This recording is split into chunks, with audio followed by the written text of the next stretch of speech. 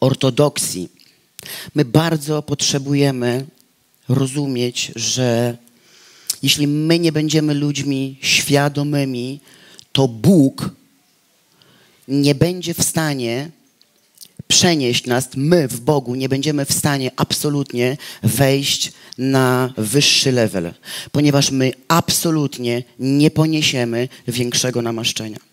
Nie ma takiej, nie ma takiej opcji, choć e, wielu ludzi, którzy przyjeżdżają do Polski, ogłaszają potężne rzeczy e, nad ludźmi bożymi, ja osobiście uważam, że jeśli człowiek nie zmienia siebie i nie bierze autorytetu nad swoją świadomością, totalnie chrześcijaństwo, w którym jest, odbywa się poza jego świadomością, jeśli też tak będzie u nas, to my nie poniesiemy, e, nie poniesiemy wyższego levelu. Chciałabym, żebyśmy zobaczyli dzisiaj na spotkanie Elizeusza z Eliaszem, co się wydarzyło, w jakim stanie Eliasz spotkał Elizeusza. Uważam, że będzie to dla nas proroczy obraz tego, co się dzieje, kiedy przygotowany człowiek w duchu, kiedy człowiek, który jest zabezpieczony, kiedy człowiek, którego życie nie jest jak miasto z rozwalonym murem, co się dzieje wtedy, kiedy spotyka się z Bożym pomazańcem? Co się dzieje wtedy, kiedy autorytet tego człowieka dotyka jego życia? Przeczytam w zasadzie krótki bardzo fragment z pierwszej księgi królewskiej i na tym fragmencie tylko i wyłącznie się oprzemy. Mam do Was prośbę. Chciałabym, abyście moje poselstwo odebrali w sposób proroczy. Każdy z Was odbierze go zupełnie inaczej. Dla każdego z Was będzie on oznaczał zupełnie co innego. Zupełnie co innego. Na początku powiem, że dla wielu z Was to namaszczenie, które miało miejsce podczas tej konferencji, jeśli nie macie zbudowanego swojego życia, jeśli wasze życie jest jak miasto z rozwalonym murem, to niestety te dni konferencji nic w waszym życiu nie zmienią. Ale dla tych z was, którzy macie świadomość w swoim życiu i już coś posiadacie, to namaszczenie poprowadzi was o level wyżej. Będę czytała z pierwszej królewskiej 19, 19, 21. Odszedł więc stamtąd i znalazł Elizeusza, więc syna Joszafata przy orce. Dwanaście zaprzęgów szło przed nim, a on był przy dwunastym. Eliasz podszedł, podszedł do niego i zarzucił na niego swój płaszcz. Wtedy opuścił woły, pobiegł za Eliaszem i rzekł: Pozwól pocałować mi mojego ojca i moją matkę, a potem pójdę za tobą. A on mu odpowiedział: Idź, ale potem wróć. Bo po cóż ci to uczyniłem? Wrócił więc do niego i wziąwszy parę wołów, zarżnął je, a na uprzęży z tych wołów ugotował ich mięso. Podawał swoim ludziom, a oni jedli. Potem ruszył i poszedł za Eliaszem i usługiwał mu. Tylko i wyłącznie na podstawie tego fragmentu i tylko i wyłącznie na podstawie tej historii pokażę wam, co się dzieje w życiu człowieka, który jest świadomym, świadomym swojej pozycji w Chrystusie. Świadomym człowiekiem każdego odcinka swojego życia. Świadomym.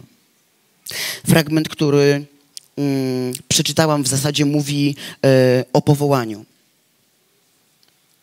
Powołania są różne. Każdy z nas jest na bardzo różnym etapie i każdy z nas ma różne powołania. Zazwyczaj mówimy o pięciorakiej służbie. Bo generalnie to jest mocne, to jest widowiskowe e, i tak dalej, tak? To jest zawsze na świeczniku i tak dalej. Ale powołania są różne. W Królestwie Bożym nie ma ludzi niepowołanych. Chcę Ci powiedzieć, że jeśli nie odnajdujesz się w żadnej pięciorakich służb, to nie znaczy, że nie jesteś człowiekiem powołanym. Dlatego, że w Królestwie Bożym nie ma osób niepowołanych, ponieważ zostałeś wywołany z ciemności. Zostałeś zawołany przez Jezusa. A więc co jesteś? Jesteś powołany. To, czy będziemy biegli do przodu, w głębokiej świadomości, kim jesteśmy, jest związane z tym, czy postawimy w naszym życiu na rozwój. Kiedyś na początku naszej służby, pamiętam, Artur mm, w ogóle zawsze u Artura się objawiało to, że ma dar nauczania. Nie skończył żadnej szkoły, ale generalnie nauczał zawsze bardzo dobrze. I na jednym z kazań, na samym początku, powiedział kiedyś takie słowa. Jestem nawrócony. A więc jak jestem nawrócony, to się nie odwracam. Bo gdzie? Dzisiaj wiele jest takiej usługi. Ja nie mówię, że to nie jest dobre, ale chciałabym, żebyśmy proroczo to obejrzeli i żeby to siadło na nas bardzo mocnym akcentem. Jest wiele przełomów, wiele takich samych modlitw, notorycznie wciąż takich samych. Czemu? Nie jesteś świadomy tego, kim jesteś? Nie jesteś świadomy, że jesteś nawrócony? Jak jesteś nawrócony, to jesteś nieodwrócony. Ponieważ dokąd się możesz odwrócić? Jesteś nawróconym człowiekiem. Będąc zakorzenionym w nauce apostolskiej, mamy tak naprawdę materiał, jak i narzędzia do tego, aby praca w Twoim i moim życiu została do końca wykonana. Ale tutaj potrzebna jest świadomość. Ja w ogóle uważam, że świadomość nie tylko u nas, ale w szeroko pojętym kościele jest bardzo mała, ponieważ obs w ogóle obserwuję Kościół, obserwuję konferencje, obserwuję w ogóle ludzi i naprawdę widzę, że wielokrotnie te same osoby, te same osoby wycierają podłogi. Czemu? Ponieważ chrześcijaństwo odbywa się poza świadomością człowieka. Poza świadomością człowieka. A ja bym bardzo chciała, żebyśmy byli ludźmi świadomymi, ponieważ kiedy jesteśmy świadomi, kiedy nasze życie jest na bardzo wysokiej świadomości, to kiedy dotyka cię pomazaniec Boży, to jest nadany kierunek. To ty jesteś w stanie przyjąć do swojego życia konkretną substancję. Rozumiecie? Pytanie dzisiaj do ciebie, czy zechcesz postawić w swoim życiu na rozwój, żeby się nikt nie rozwijał wokół ciebie? Pytanie, czy postawisz w swoim życiu na rozwój? Czy będziesz chciał się rozwijać? Te cztery wersety, na których się oprzemy, wiele do nas powiedzą o takich rzeczach: o świadomości, o postawie i o zaangażowaniu. Ja w ogóle osobiście wierzę, i to też głosiłam ostatnio tutaj u nas w kościele, że zamknęliśmy pewien etap. Wierzę, że jesteśmy w czasie wywyższenia, zgodzicie się ze mną, ale jeśli jesteśmy w etapie wywyższenia, a ktoś nie domaga, to pioruńsko szybko trzeba zmienić pewne rzeczy. Rozumiecie? Czemu? Abyśmy byli gotowi dalej wykonywać pracę Bożą. Abyśmy byli w stanie dalej wykonywać pracę Bożą. Ponieważ jeśli nasza świadomość się nie zmieni, to namaszczenie, które jest uwalniane, ono nie będzie mogło pracować, ponieważ przez kogo dzisiaj działa Bóg? Przez Kościół, czyli przez Ciebie i przeze mnie. Przez Ciebie i przeze mnie. Jest zamknięty etap dziecinnego myślenia, bujania się, czy Bóg jest ze mną, czy Bóg mnie kocha, czy mnie nie odtrąci, czy mnie w ogóle nie zostawi, czy ludzie mnie lubią, czy mnie nie lubią, powiem, nie powiem, co o mnie pomyślą, jak o mnie pomyślą, jestem szpetny, jestem brzydka, tu mam za krótko, tam mam za długo. W ogóle, kochani, jest koniec tego etapu.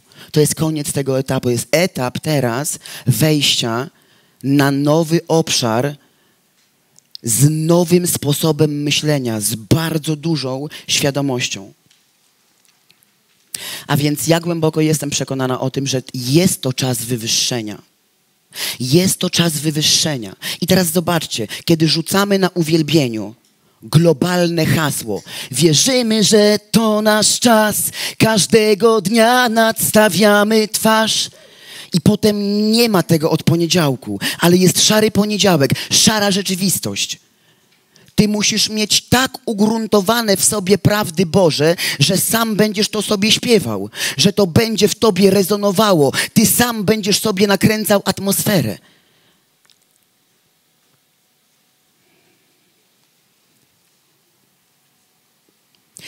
Przypowieści Salomona 30, 21, 22. Pod trzema rzeczami drży ziemia. Owszem, czterech unieść nie może. Niewolnika, gdy zostaje królem.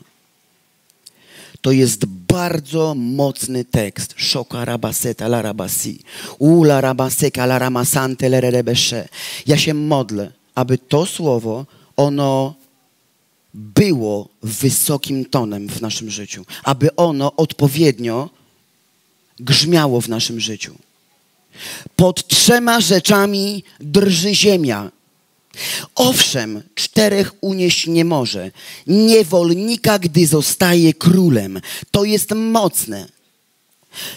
Można intelektualnie przyjąć w ogóle bardzo dużo wiedzy ponieważ umysł się trenuje, można się rozciągnąć tak, że można w ogóle wszystko pojąć.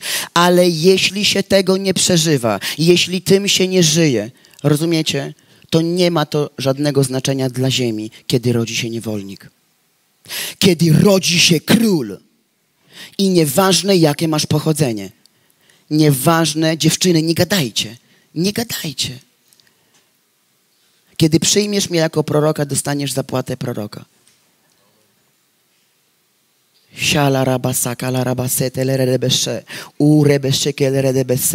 Dla ziemi nie ma żadnego znaczenia, kiedy się rodzi niewolnik, ponieważ niewolnik nie zrobi nic. Niewolnik nie uczyni żadnej różnicy, żadnej. Ale kiedy rodzi się król, rozumiecie? Kiedy rodzi się król i nieważne, czy masz pięcioraką służbę, nieważne. Król to król. Król to król. Król to król. Nieważne, czy Bóg cię powołał do pięciorakiej służby. Amen. Amen.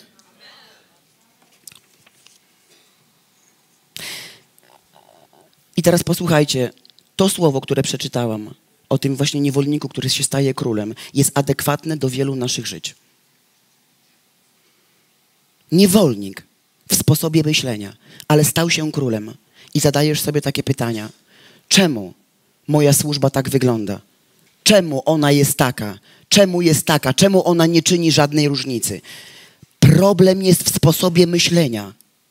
Tu jest problem. Problem jest w świadomości. Problem jest w tym, że życie chrześcijańskie jest poza świadomością. Rozumiecie? Nie praktykuje się rzeczy. Wielu ludzi swoje chrześcijaństwo niestety przeżywa tylko i wyłącznie w głowie. W głowie. W głowie. Tak jak zawsze mówimy, że my chcemy, aby każdy w zespole był w służbie aby każdy w zespole był w służbie, ale do tego potrzebna jest bardzo wysoka w ogóle świadomość. Bardzo wysoka świadomość. Jadę na konferencję. W ogóle jakie, w ogóle z jakim ja nastawieniem jadę na konferencję? Ja nie jadę na konferencję chrześcijańskiego, apostolskiego zespołu, żeby mnie podnieśli. Ja jadę, bo ja nie jestem w dole zagłady. Z dołu zagłady wyrwałeś mnie, dziś stoję na skale Twej. W usta włożyłeś mą nową pieśń, dziś Panie wielbię Cię. Tarara. I tak wielu ludzi sobie śpiewa na konferencjach. Czemu? Ponieważ ich świadomość jest bardzo płytka. Jeżdżą z konferencji na konferencję, tak? Przyjeżdżają Boży pomazańcy, ja tego nie neguję. Przyjeżdżają Boży pomazańcy, ale co się dzieje? Notorycznie wyciągają tych samych ludzi. Skąd? Z dołu zagłady. Czemu w ogóle nie jest niesione dalej poselstwo? Czemu tak naprawdę namaszczenie nie może się uwalniać? Bo chrześcijaństwo w wielu życiach dzieje się poza świadomością człowieka. Ale ja bym chciała, żeby u nas było zupełnie inaczej. A tak jak zawsze mówimy, religia nie ma względu na osobę. Wszędzie puka. Wszędzie puka. Pytanie, czy będziemy ją zapraszać. A więc nie, narodziny niewolnika nie mają żadnego znaczenia dla ziemi.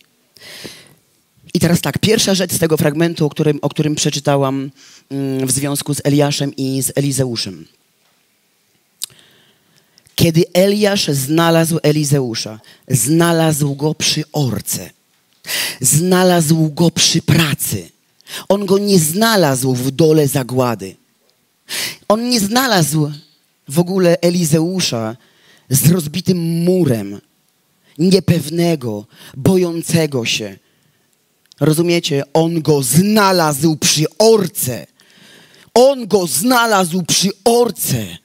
Przy pracy go znalazł. Nie w dole zagłady zasypany lasowanym wapnem, rozkładający się i wzbudźmy go na proroka narodów. Kogo? On tego nie poniesie, tam substancji nie ma. Tam nie ma substancji żadnej. Kogo on... Po... A tak wiele usług wygląda. Tak wiele usług wygląda. wychodzą ludzie, życie rozprute i proroctwa. Pan ci da narody. Ale jakie? Najpierw ogarnij miasto swoje, bo ten przykład porządku Bożego, ten schemat, o którym mówię dzisiaj, daje nam konkretny wzór. Co się dzieje, kiedy przygotowany w duchu człowiek spotyka się z Bożym pomazańcem? Rozumiecie, co się wtedy dzieje? A więc Eliasz spotyka Elizeusza przy orce. Dwanaście zaprzęgów szło przed nim. Jest to obraz człowieka, który coś posiada. Dwanaście zaprzęgów, on zarządza tymi dwunastoma zaprzęgami. Dwanaście jest symbolem doskonałości. To nie jest człowiek, który nie posiada nic. To nie jest człowiek, którego życie przygniotło, gdzie jego życie jest poza w ogóle jego świadomością. To jest człowiek, który ma dwanaście zaprzęgów. Ojcze, ja modlę się, aby to słowo było głęboko objawiane w sercach ludzi. Niech układa się w was układanka. Niech świadomość rośnie bardzo wysoka. To nie jest człowiek przypadku. Eliasz nie był roztargnionym w ogóle prorokiem, który sobie w ogóle chodził i na byle kogo w ogóle ręce kładł. Nie. On znajduje wedle tego słowa człowieka, który jest przygotowany. On jest przygotowany. On ma 12 zaprzęgów. Jest to człowiek, który w oczach Eliasza był gotowy, aby zarzucić na niego płaszcz. On był gotowy, aby przyjąć namaszczenie. On był gotowy, aby przyjąć od niego płaszcz namaszczenia. To nie była zabawa, tak jak się dzieje na wielu chrześcijańskich imprezach. To nie była zabawa. Pytanie do wielu z Was, którzy byliście wczoraj uzdrawiani: co dzisiaj robiliście tutaj? Po co? Jeśli wyszedłeś dzisiaj po raz drugi do modlitwy, to znaczy, że wczoraj to, co miało miejsce, odbyło się poza Twoją świadomością. Poza Twoją świadomością. Czyli wczoraj nie wierzyłeś. Wyszedłeś dzisiaj do modlitwy. Gwarantuję ci, gdyby Tomek w poniedziałek w ogóle zrobił live'a, wiesz o co chodzi? Z powrotem się połączysz. Z powrotem się połączysz, bo to tak wygląda, taka jest ta pieprzona religia. Tak to wygląda. A diabeł chce utrzymywać ludzi w ciemnogrodzie.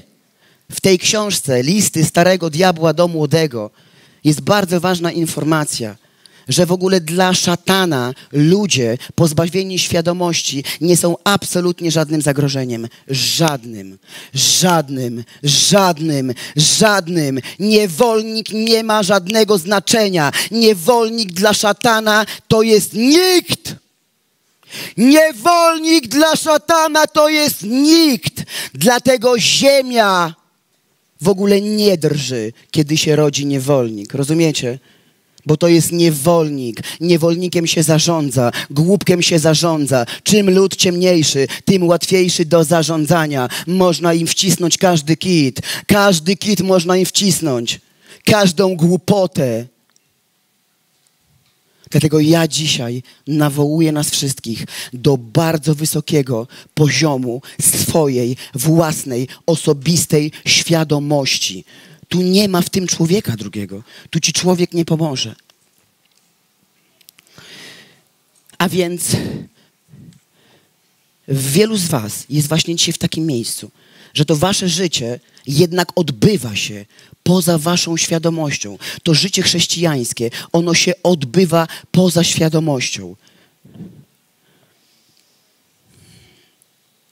Żyję jak niewolnik Spotkania dla mnie są religijną rozrywką, emocjonalnym wyrównaniem. Świadomość bardzo malutka. Wszystko jest problemem. Praca jest problemem. W ogóle znalezienie pracy to są Himalaje w chrześcijaństwie. Znalezienie pracy to są Himalaje. Listonosz za wcześnie ci zapukał do drzwi. Jezu. Wszystko jest w ogóle problemem. Jakaś niemoc Czemu tak jest? Czemu tak się dzieje w poniedziałek, kiedy w niedzielę byłeś na potężnym spotkaniu? Czemu tak się dzieje? Dlatego, że jesteś człowiekiem nieświadomym. Jesteś miastem z rozwalonym murem i namaszczenie, które miało miejsce na tym spotkaniu, ono ci totalnie nie usłużyło, ponieważ nie jesteś świadomy. I posłuchajcie, ten mental jest ogromnym blokierem, aby praca Boża była wykonywana. To jest tak naprawdę problem. To jest problem, bo my nie mamy do czynienia, kochani, z niewiadomo jakimi demonami. My mamy do czynienia właśnie z taką mentalnością z mentalnością niewolnika takiego. Źle mi jest, nikt mi nie pomógł, a w ogóle tamci tu już mają tak dobrze, taką mają fajną w ogóle służbę, a ja ciągle jakoś tak i nic, i nic, i nic. To słowo, które mówi, bo temu, kto ma, będzie dodane, to jest potężna informacja. To jest naprawdę potężna informacja. Dla tych z Was, którzy nic nie robicie w swoim życiu, ta konferencja nie będzie miała żadnego znaczenia. Ale dla tych z Was, którzy pracujecie, którzy już czymś zarządzacie, którzy zarządzacie być może dwunastoma zaprzęgami, to namaszczenie, które było uwolnione, będzie kolejnym levelem, będzie kolejnym levelem i potężnym progresem. Ja to prorokuję nad wami. Uczynicie różnicę, uczynicie różnicę. Dla tych z was, którzy coś posiadacie, to namaszczenie, które było wyzwolone, środowisko, które było stworzone, będzie dla was czymś potężnym. Zobaczycie to wy i zobaczy to cały zespół. I tak naprawdę bo tylko temu, kto ma i temu, kto jest świadomy i temu, kto jest w rozwoju, będzie dodane. Będzie dodane. Kiedy ja się przyglądam wielokrotnie na spotkania, nawet i te u nas, ja mówię, czemu wciąż ludzie wychodzą do tych samych modlitw. Modliłam się o to, choć jestem wierzącym już prawie 20 lat i sporo widziałam. I nie jestem tą z pierwszej łapanki, która da się wkręcić. Mówię, Boże, czemu tak jest? Na mnie w życiu tyle osób rąk nie położyło. Nigdy. Ja miałam raka piersi, miałam dziurę w cycku, miałam włożoną taką rurę, i Artur mi wstrzykiwał wodę utlenioną, żeby mi się w ogóle oczyszczało i pojechaliśmy, polecieliśmy do Irlandii na usługę. Współpracowaliśmy wtedy z takim kościołem, chodziłam na ewangelizację. Kiedy pojechałam, już wtedy chyba razem byliśmy na Ukrainie na usłudze Henry'ego Madawy i pamiętam wtedy, że ktoś miał słowo wiedzy, że jeśli jest kobieta, która ma raka piersi, niech wyjdzie do modlitwy. Rozumiecie? Ja na tamten czas odczuwałam jeszcze, jeszcze w swojej piersi mały guzek i wiedziałam, że jeśli wyjdę, to dostanę raka. Wiecie o co chodzi? To jest mocne, co ja teraz mówię. Jeśli wyjdę do tej modlitwy, to złamię swoją osobistą wiarę, bo już miałam coś wypracowane w moim życiu. Diabeł do mnie mówił. Diabeł do mnie powiedział: wyjdź do tej modlitwy, żeby położyli na ciebie ręce. Nie wyszłam. Rozumiecie? Bo moja osobista wiara zostałaby złamana moja osobista wiara zostałaby złamana. Dlatego apeluję dzisiaj do nas o bardzo, bardzo, bardzo, bardzo wysoką świadomość tego, kim jesteś. Nie wypadłeś sroce spod ogona. Zostałeś zrodzony z Bożego Ducha, jesteś nawrócony, a więc dokąd się masz odwracać? Nie potrzebujesz notorycznie przełomu, modlitwy, żeby cię pchnąć, żeby cię wykopać w ogóle tak jak Artur ostatnio napisał, dmuchaj sam w swój żagiel. To ma sens, w tym jest moc. Sam dmuchaj w swój żagiel. Kiedy będziemy świadomi, na każdym odcinku naszego życia będziemy w stanie brać kolejne odpowiedzialności kolejne.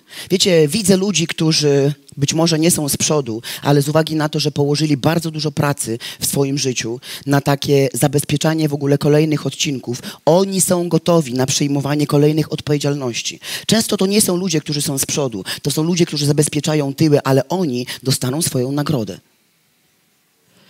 Jeszcze raz mówię, nieważne do jakiej służby jesteś powołany. Pięcioraka służba to nie jest tylko ta służba, która jest. Jest bardzo dużo różnych służb. Możesz być na przykład gościnny. Jest taki pewien element, kiedy śledzicie historię Kościoła, kiedy śledzicie e, Bożych ludzi, to jest taki właśnie jeden element, który ich e, jak gdyby e, wiąże ze sobą. To jest to, że oni się nigdy nie wycofali. To byli ludzie, ludzie, którzy wytyczyli kierunek, ludzie, którzy zrobili różnicę, to byli ludzie, którzy byli bardzo świadomi. Oni byli świadomi. I ktoś mówi, no tak, ale to wiesz, tam ta słowo takie mówi, że komu więcej darowano, to ten bardziej miłuje. Nie musisz umrzeć. Czy można więcej darować? Nieważne, czy ktoś był cudzołożnikiem, ćpunem i tak dalej. Byłeś dobry, ja byłam dobra.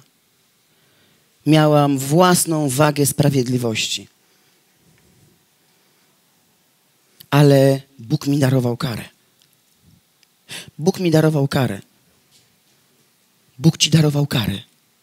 Czy potrzeba coś więcej, żeby go miłować i przykazań jego przestrzegać i być świadomym człowiekiem i być zaangażowanym w pracę Bożą, być człowiekiem, który czai bazę?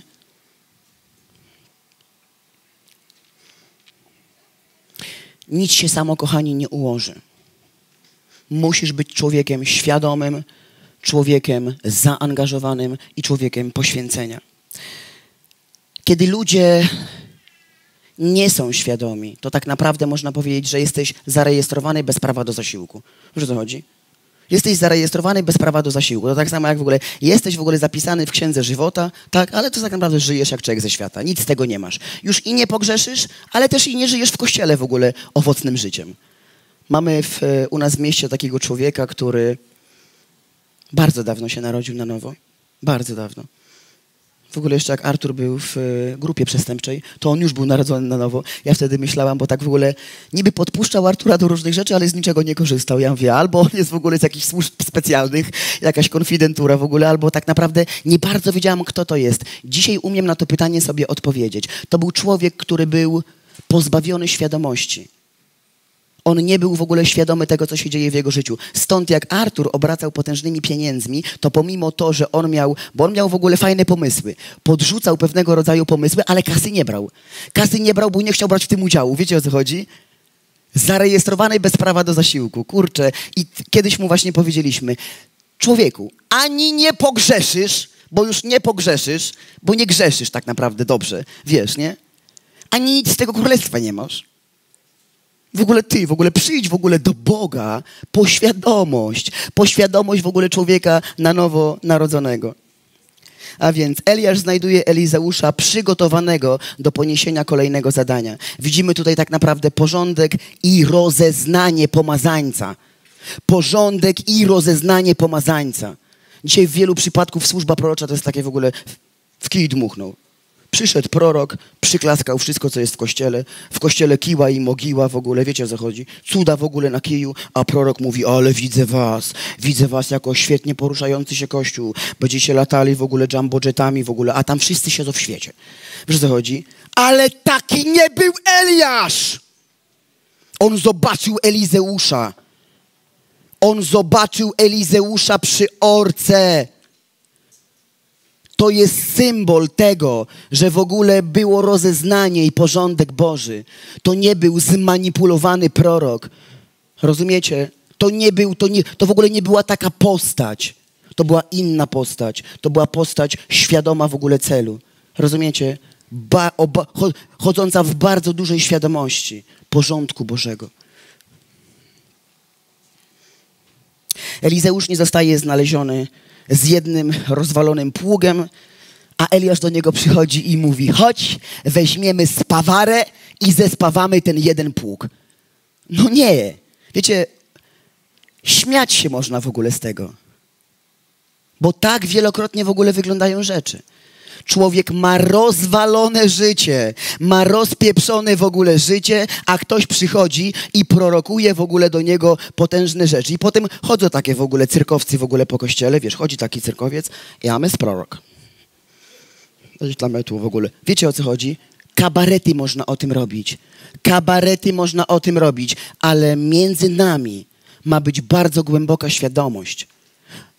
Kiedy będziemy chodzili w bardzo głębokiej i wysokiej świadomości, rozumiecie o co chodzi, to będziemy mieli odpowiednie w ogóle podejście do wielu rzeczy i dobre rozpoznanie. Dobre rozpoznanie. A więc Eliasz nie znajduje Elizeusza z jedną habetą, rozwalonym pługiem, podziurawionego, nie mającego w ogóle nic tylko znajduje go, to jest proroczy obraz, znajduje przygotowanego, świadomego w ogóle człowieka. On coś ma, a Eliasz mówi: Jest człowiek nieba, jest w ogóle niebiańska struktura, jest substancja, jest w ogóle coś, na czym się mogę oprzeć, jest coś, on coś ma. To nie jest w ogóle pomiotło, on ma, a więc co robi? Zarzuca na niego swój płaszcz. Płaszcz na niego zarzuca. Dla naszego zrozumienia przyszedł do człowieka, który ogarnia swoje życie. Bo też chciałabym, żebyście nie szukali nie wiadomo czego. Może emocje swoje ogarniasz. Może rzeka wody żywej, którą przyjąłeś do swojego życia, powoduje to, że kiedyś nie ogarniałeś totalnie nic, a dzisiaj ogarniasz finanse, dzisiaj ogarniasz emocje, dzisiaj ogarniasz swoje rzeczy, dzisiaj ogarniasz w ogóle dzieci. W ten sposób też to oglądajcie. To prorocze poselstwo, z którego każdy może coś wziąć do siebie. Nie musisz mieć dwunastu firm. Rozumiecie? Nie patrzmy tylko tak. Nie o to chodzi. Nie musisz mieć dwunastu firm. Nie musisz mieć w ogóle jakiejś firmy, która sprzedaje w ogóle komputery. Możesz być w miejscu, że właśnie ogarnąłeś już 12 rzeczy związanych właśnie z emocjami, z domem, z mężem, z żoną, z dziećmi, z pracą. Grzech nad tobą nie panuje.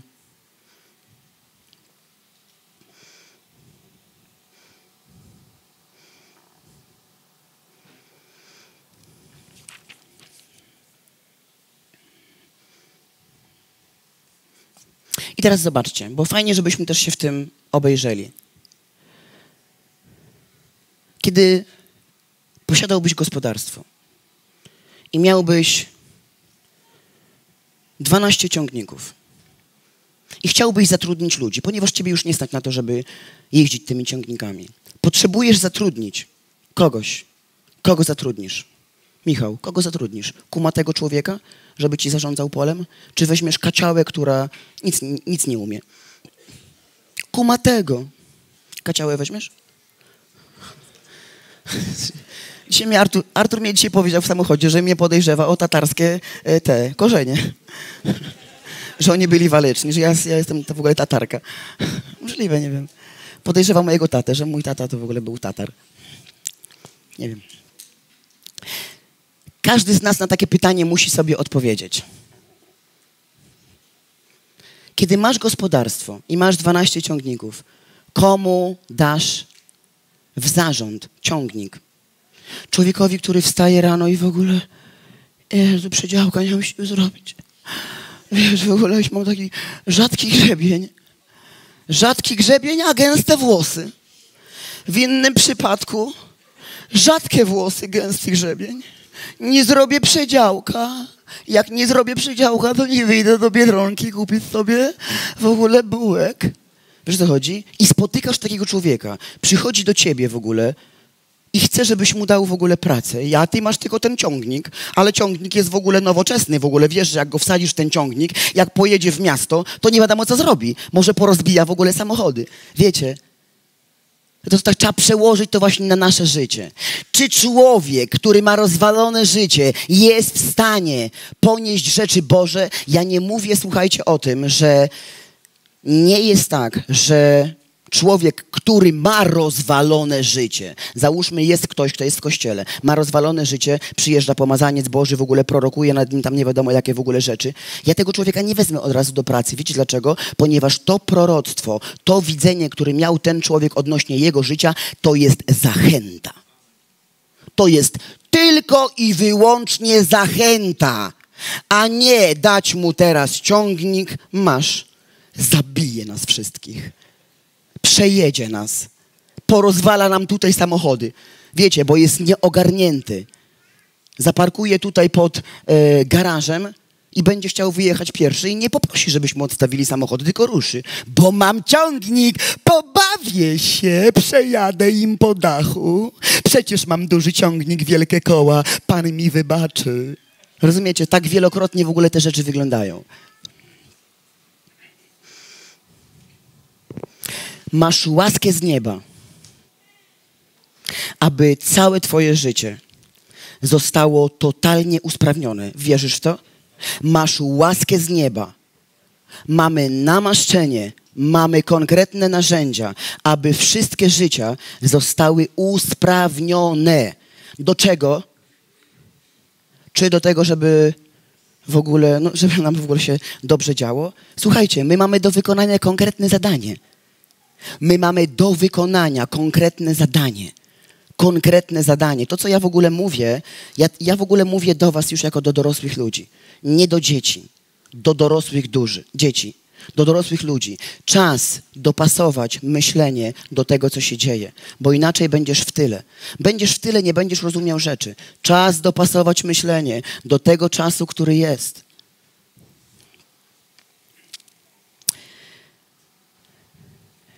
A więc dalej. Eliasz podszedł do Elizeusza i zarzucił na niego swój płaszcz. Wiecie, to jest bardzo mocne. Kiedy ja przyjęłam płaszcz namaszczenia proroczego, to ja zaraz zaczęłam usługiwać. Dlaczego? Ponieważ pewne etapy w moim życiu miałam jakie? Załatwione. To nie było tak, że ktoś coś nade mną wyswobodził i ja dalej lata żyję w jakimś takim, wiecie, ale wtedy było fajnie, takie miałam proroctwo fajne. Odsłuchuję to teraz cały czas. Nie. Zaczęłam usługiwać. Czemu? Bo byłam na pewnym etapie swojej już świadomości. Zrzucenie, zarzucenie płaszcza jest symbolem uwolnienia autorytetu. Uwolnienia autorytetu to, słuchajcie, to jest, to jest potęga. To jest potęga. Został nad tobą uwolniony autorytet. Historia na przykład Rut. Przychodzi do Boaza, ona nie przychodzi do niego w ogóle w stroju roboczym. Tak? Jak przychodzi do niego? Ona przyszła do niego w głębokiej świadomości. Ona przyszła do niego w odświętym ubraniu. Kiedy on się obudził, ona powiedziała do niego: Rozciągnij nade mną swój płaszcz. Wiecie, że wielokrotnie jest bardzo niebezpieczną rzeczą, żeby mieć życie rozpieprzone na kawałki i podłożyć się w ogóle pod ręce w ogóle usługującego człowieka, bo wiecie, kurczę, ja naprawdę wielokrotnie e, na różnych spotkaniach widziałam, że ludzie w namaszczeniu właśnie się rozbierali do naga, bo głupieli. Głupieli! Za tym nic nie poszło. Oni po prostu wariowali w namaszczeniu.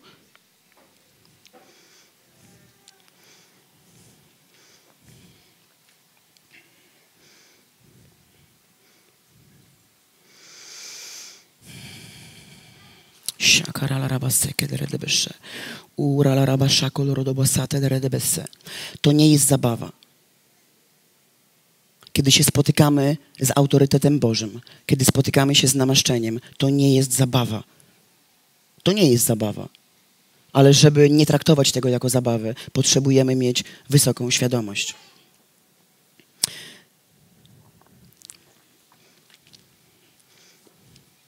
Nie widzimy, żeby Elizeusz zrzucił płaszcz. Żeby, Eli, żeby Elizeusz zrzucił płaszcz. On w tym płaszczu pozostał. Dla niego to nie była zabawa. Zaraz wam to pokażę dalej. To nie była dla niego zabawa. I w ogóle oglądaj to proroczo. Załóżmy, że wychodzisz w niedzielę po modlitwę. Został na ciebie zarzucony płaszcz.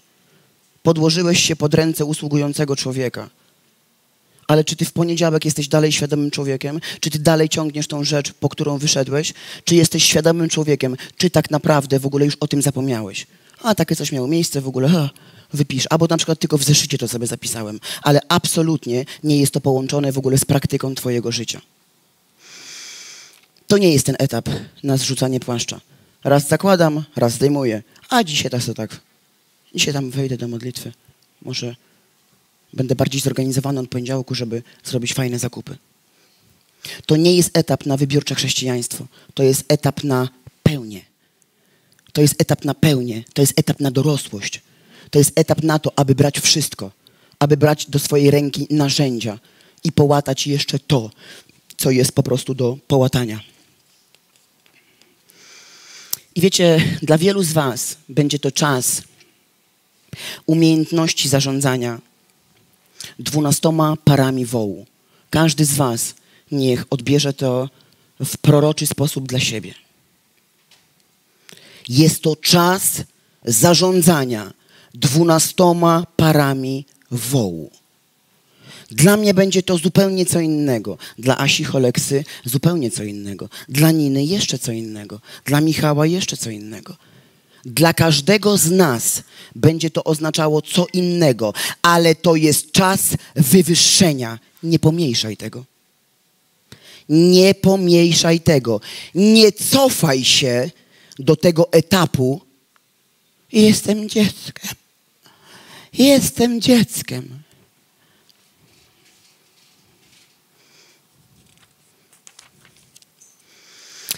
Dalej widzimy, że Eliasz opuszcza woły i biegnie za Eliaszem.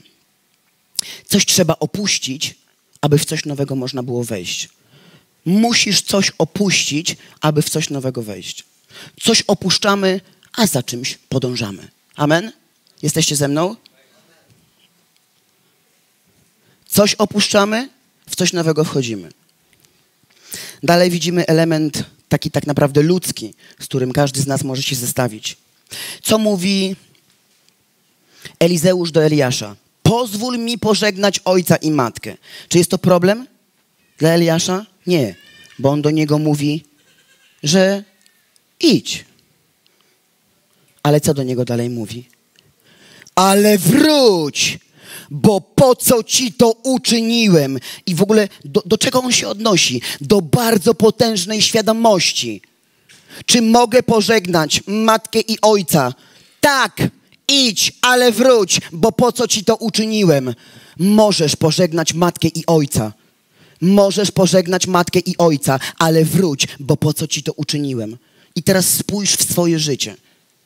Czy jesteś świadomy, co ci uczynił Bóg? Czy wróciłeś? Czy to, co wziąłeś, to wróciłeś? Czy się odwróciłeś? Ale z kolei dokąd się odwróciłeś? Dokąd? W śmierć?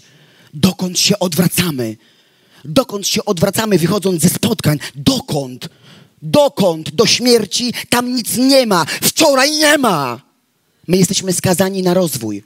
Ale kiedy nie jesteśmy w świadomości, kiedy się głosi skazalnicy, że jesteśmy skazani na rozwój, to brzmi w uszach zamordyzm zamordyzm, ale to nie jest zamordyzm, to jest niebiański kierunek. To jest niebiański kierunek, żeby nam się dobrze wiodło. A więc nie jest to problem dla proroka Bożego, że on chce pożegnać matkę i ojca. Mówi, idź, idź, ale wróć. Idź, ale wróć, bo po co ci to uczyniłem? Po co ci to uczyniłem? I wiecie, kiedy sobie to w ogóle rozważałam, to od razu przyszły mi na myśl takie w ogóle sytuacje, w których widziałam wielu ludzi, nad którymi było prorokowane naprawdę wielkie rzeczy. I powiem Wam tak, oni mieli potencjał i ludzki, i byli uwarunkowani do tego, żeby pociągnąć wielkie rzeczy. Ale nie pociągnęli, bo nie wrócili nie pociągnęli, bo nie wrócili. Oni się odwrócili. Ich życie jest dzisiaj nigdzie, można powiedzieć, w śmierci. W śmierci. Oni się po prostu odwrócili. Przykład dziesięciu trendowatych. Który wrócił? Ilu wróciło z dziękczynieniem? Jeden. Ale dziesięciu uzdrowionych. Jeden tylko wraca. Jeden wraca. Czyli co można powiedzieć? Jaka jest w ogóle skala? No jaka jest skala w ogóle? Kurczę, dziesięciu w ogóle uzdrowionych, a jeden w ogóle wraca. A jeden wraca. I wielokrotnie tak jest na spotkaniach, że dzieją się wielkie rzeczy, ale wyłoni się jedna perła. Złapaliśmy jedną perłę. Złapaliśmy jednego człowieka na trzystuosobowym spotkaniu jeden człowiek Ale ten jeden człowiek z 300-osobowego spotkania jest w stanie otworzyć kolejne drzwi, bardzo znaczące, bo to nie jest niewolnik, bo narodziny niewolnika nie mają żadnego znaczenia. Jeśli z 300-osobowego spotkania urodzi się jeden król, świadomy, to ma to ogromne znaczenie, bo to jest potencjał Boży 100%. 100%. On może przenieść cały Kościół w zupełnie inną rzeczywistość. Jeden człowiek. Bo co mówi słowo? Jeden sprawiedliwy jest w stanie podnieść miasto. Amen. Amen. Jeden sprawiedliwy. Niewolnik nie. Niewolnik może wiele mieć. Niewolnik może wiele posiadać. Ale on nic nie zrobi. Nic. Jego życie nie ma żadnego znaczenia. Proroczo to oglądajcie.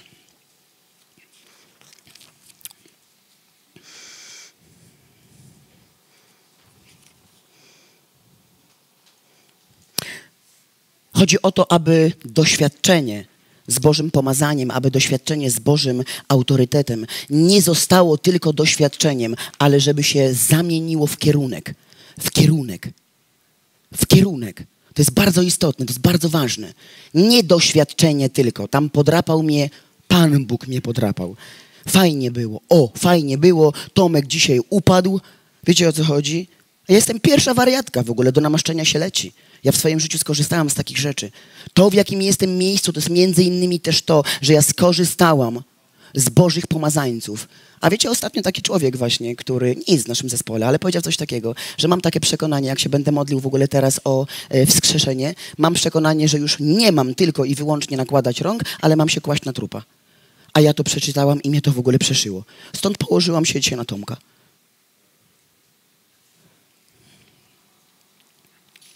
A więc, kiedy spotykasz się z w ogóle z autorytetem w ogóle Bożym, w ogóle z płaszczem namaszczenia, to to tak naprawdę przeradza się w ogóle w twoim życiu w kierunek, o ile jesteś świadomy.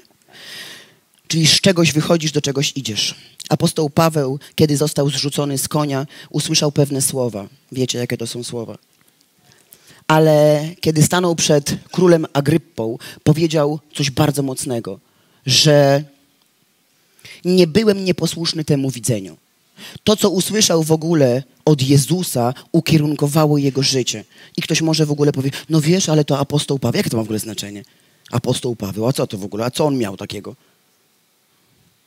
Był prześladowcą Kościoła. Co z tego, co z tego że coś wiedział, jak on to potem wszystko powywalał? Nieważne, w jakiej jesteś służbie, kiedy spotykasz się z Bożym pomazańcem, kiedy spotykasz się z Bożym autorytetem, to jest wszystko w celu, aby ukierunkować Twoje życie.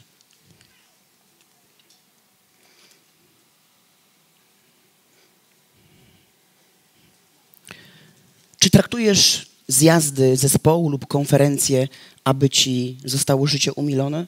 Czy naprawdę jesteśmy tutaj, kochani, jako ludzie świadomi, jako ludzie o bardzo wysokiej świadomości, że mamy do wykonania konkretne zadania? Mamy do wykonania konkretne zadania. Jak ja sobie o tym wszystkim w ogóle mm, rozmyślam, no to faktycznie, jeśli nie zrobi, nie, w ogóle nie zamurujemy pewnej przestrzeni, to nie poniesiemy różnych rzeczy, bo to jest za ciężkie. W ogóle praca Boża, ludzie to mówią, wiesz, w ogóle w Duchu Świętym to jest takie wszystko łatwe. W ogóle to jest orka. To jest orka. Królestwo Boże to jest orka. Fajnie to jest na konferencji. Fajnie to jest na konferencji, kiedy sobie ładnie pośpiewamy, potańcujemy sobie i tak dalej. Ale na co dzień to jest orka. Orka. O ja tu tam żadnego wysiłku w ogóle nie, nie robię. No w ogóle jak to? To jest wysiłek. To jest potężny wysiłek.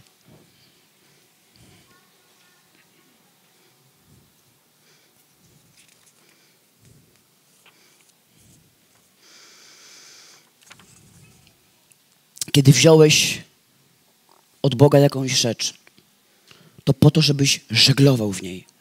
Masz w niej żeglować. Masz się w tym rozwijać. Masz się w tym rozwijać, masz to rozwinąć do granic możliwości. Kolejna rzecz z tej historii jest taka, że Elizeusz zażyna woły. I my wszyscy o tym wiemy, tylko wiecie, tak jak powiedziałem wcześniej, to się dzieje poza świadomością. Każdy etap służenia jest związany z ofiarą. Każdy etap służenia jest związany z ofiarą, ale jeśli nie jesteśmy tego świadomi, tak, no to nie jesteśmy gotowi w ogóle na składanie ofiary. Kiedy w Twoim życiu z Bogiem zabraknie ofiary, i w ogóle ja tutaj nie mówię o pieniądzach, to jest coś takiego, co ja dla potrzeb tego słowa mówię, co się w ogóle nazywa wynaturzenie. Wiecie o co chodzi? Zaczynamy żyć w ogóle nie jak chrześcijanie. Nie jak ludzie, którzy doświadczyli mocy. Nie jak ludzie, którzy doświadczyli w ogóle łaski. Jeszcze pracy nie mam. Właśnie praca to są Himalaje.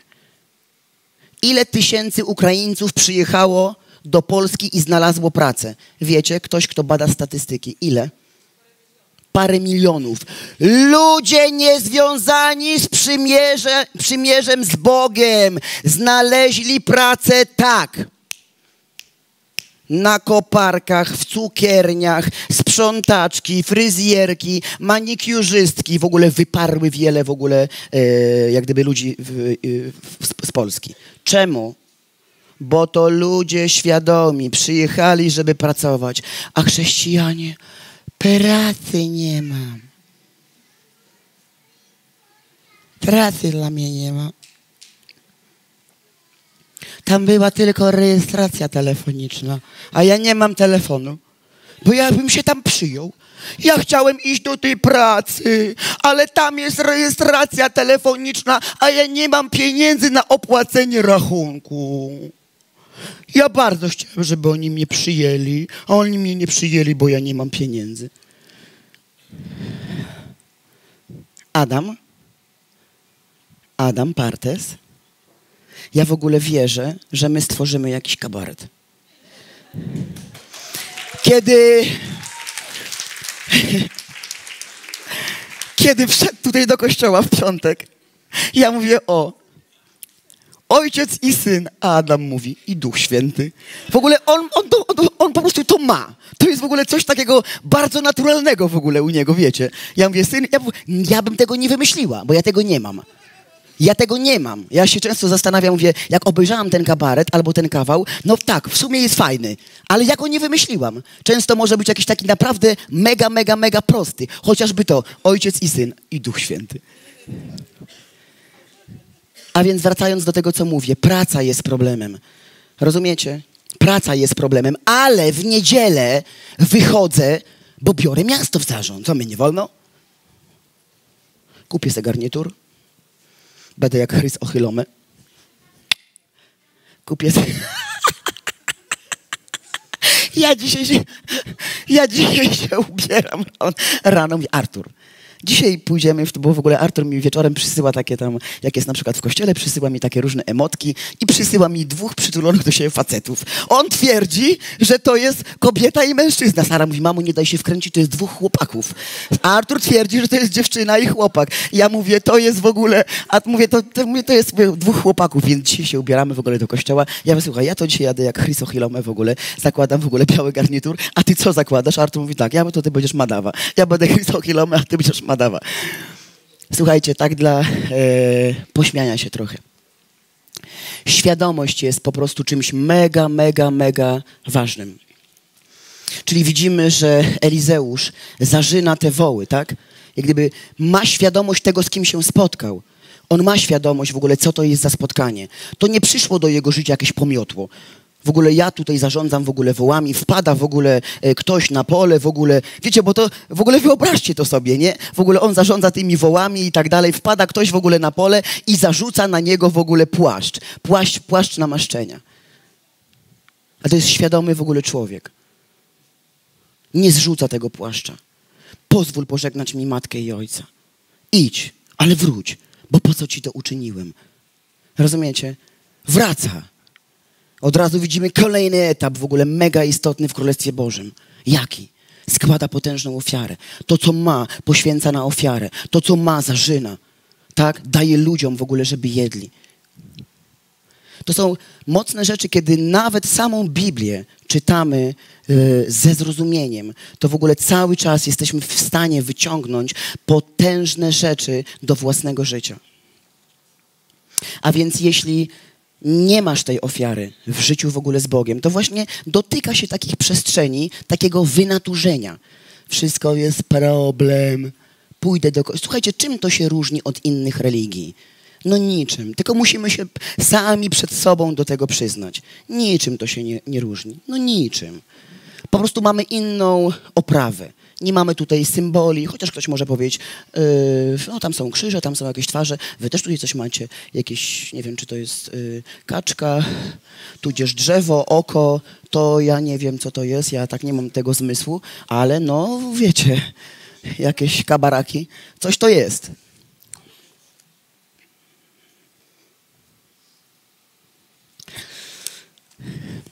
Wierzę, że, że będziemy ludźmi, którzy są świadomi, że będziemy coraz bardziej ludźmi zorientowanymi. Począwszy od żyć prywatnych, że nie będzie mi się życie przytrafiało. Że to nie jest tak, że spadł na mnie poniedziałek poniedziałek na mnie spadł, w ogóle jest, w ogóle przyszedł listonosz i w ogóle, wiecie, ja nie wiem, co on ode mnie chciał. Jakieś pismo mi przyniósł, jakieś rachunki mam do zapłacenia, ale ja jeszcze nie mam pracy. Ale dzieci masz. No tak, wiesz, też tak mi się tam zdarzyło. Nie zapłacę, bo jeszcze 500 plus nie wziąłem. Posłuchajcie, to są realia chrześcijaństwa. No to są realia chrześcijaństwa.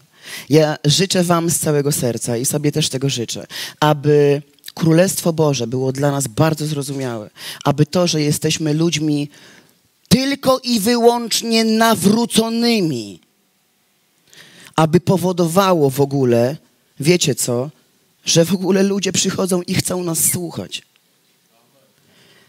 Oczy Eliasza zostały skierowane na Elizeusza bo Elizeusz coś miał.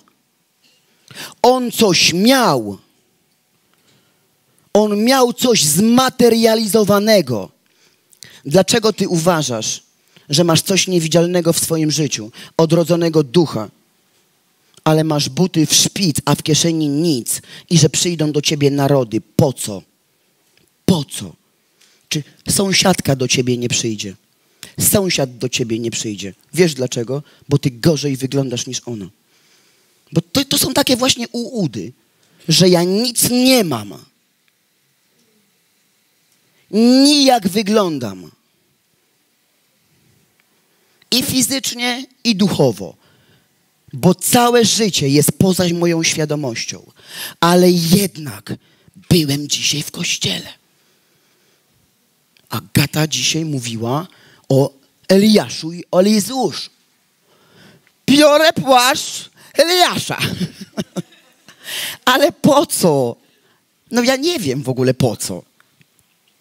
Chcesz mój? Ale też po co? Po co? Do czego ci on? Co z tym zrobisz? Będzie potężnym ciężarem. Możesz się z łóżka nie podnieść. pomódl się dzisiaj już nie do muzyki, nie do jakiejś atmosfery, ale przyjdź dzisiaj do Boga. Z tym, co powiedziałam. Być może to jest, być może to wysokie tony, ale wiecie, w ogóle nie można inaczej. Jesteśmy zobligowani do ortodoksji i do standardów Bożych. Inaczej nie będą się rzeczy zmieniały i inaczej nie będziemy, kochani, w stanie ponieść ponieść kolejnego levelu. I ktoś może powiedzieć, Bóg nie chciał. Nie, to nieprawda. Nie byliśmy na to przygotowani. Amen.